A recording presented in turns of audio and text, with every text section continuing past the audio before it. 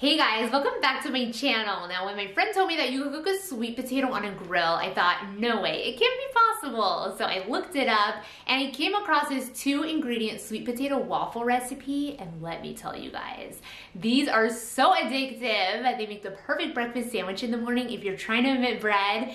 And the best part of all is they are super quick and easy to prepare. So let's get started.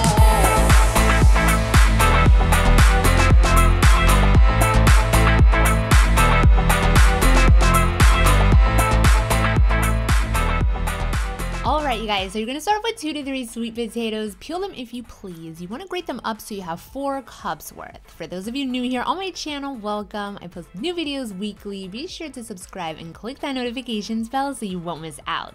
Now I'm mixing up 2 eggs with the grated sweet potatoes and that is it. Your waffle mixture is ready. Heat up your waffle iron or regular skillet. You're to brush it with a little coconut oil or whatever you have on hand and lay a heaping spoonful of the grated up sweet potatoes so that it's covering the whole surface. Allow it to cook for two to three minutes. I love it when the waffle gets a little caramelization from the natural sugars of the sweet potatoes. Super yummy. You're gonna go ahead and keep repeating the process. This makes about eight small waffles. If I'm able to stop eating these while I'm making them, I like to freeze them in a Ziploc bag and pop them into the toaster on mornings when I'm in a hurry. Sandwich them with sausage patty in the middle and maybe a slice of cheese and life just doesn't get any better.